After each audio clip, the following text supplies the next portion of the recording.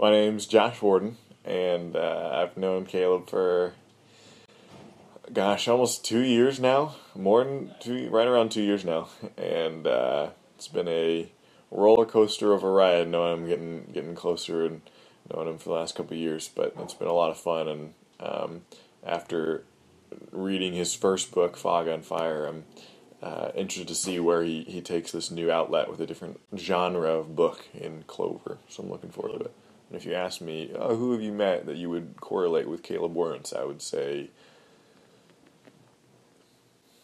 nope, nobody. Nobody comes to mind. He's just a very unique guy. He just has an interesting set of mannerisms. He just communicates with people differently and in a good way. I mean, it's he's one of the nicest people I know, and uh, I don't know, just being able to see how he takes his personality and translate it onto paper is very intriguing. And so to see it in a novel format and not in the sort of uh, diary kind of day by day way that he did Fog on Fire, reading Clover, I think will will further pique my interest in terms of where Caleb Werntz is at.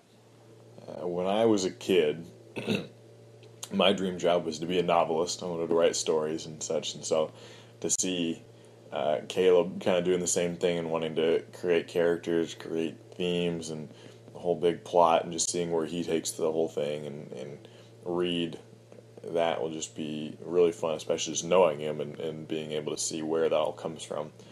Um, so I'm looking forward to it, and for anybody who's interested in you know contributing to that campaign, to, to at least just reading the book, hearing more about it, you know, I encourage you in that because it'll be a fun ride from from this point all the way until whenever the book is finished and printed and in the hands of, of people wanting to read it. So I'm looking forward to it. I'll let that moment breathe for a second. I, I never get to do that as much.